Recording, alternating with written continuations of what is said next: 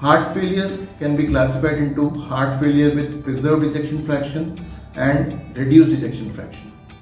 By the term heart failure with preserved ejection fraction, I mean there is diastolic relaxation abnormalities in which ejection fraction, which is a measure of heart failure, is normal, that is above 50%. The heart failure with reduced ejection fraction consists of mild, moderate, severe. Severe heart failure is when the ejection fraction falls less than 30% and the patient is almost incapacitated to do routine household activities also.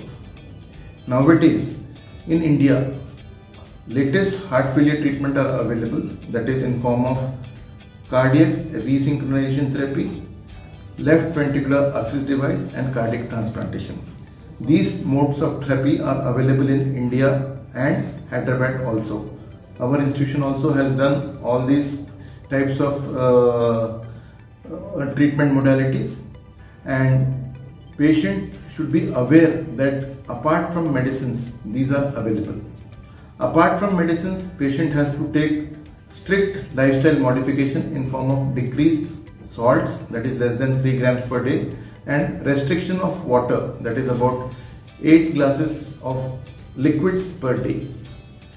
If you follow these measures then probably your management of heart failure is better but apart from coronary artery disease, nowadays we are seeing non-coronary causes of heart failure which are peripartum cardiomyopathy, viral myocarditis as we are seeing in our COVID-19 pandemic.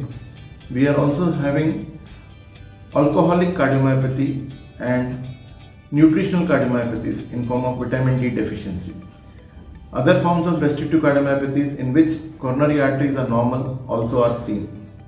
Our coronary artery differs from the West in form of we get the coronary artery disease a decade earlier than the West.